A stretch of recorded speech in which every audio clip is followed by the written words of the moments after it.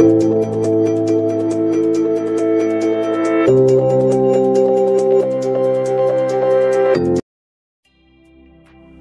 is the oxidation number of chlorine in chlorate ion?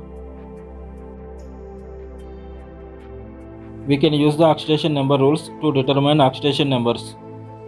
Chlorate ion is an inorganic anion with overall oxidation number minus 1. Therefore, we know that the sum of the oxidation number of the atoms is equal to minus 1. By the rules of assigning oxidation numbers, the oxidation number of oxygen is minus 2 in compounds. We can write the oxidation number of the element above its symbol and the total number of the oxidation number of the atoms below its symbol. As per rule, the sum of the oxidation numbers in a polyatomic ion is equal to the charge of the ion. So the number under Cl must be plus 5.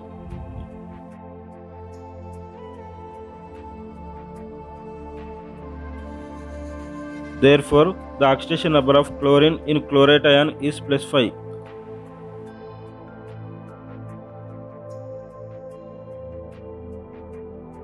If you like this video, please subscribe my channel and press on the bell icon.